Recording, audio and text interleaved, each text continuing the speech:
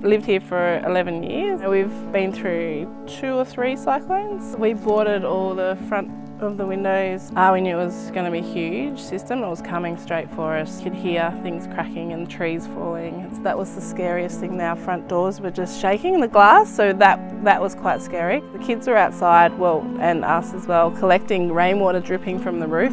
They watched the digger actually clear our driveway to come down. And that's where that photo sort of started there. A lot of people have said that they've said they've definitely can feel the emotion and it sort of showcases exactly, you know, what the cyclone was sort of was all about. Everybody, yeah, the valley really come together.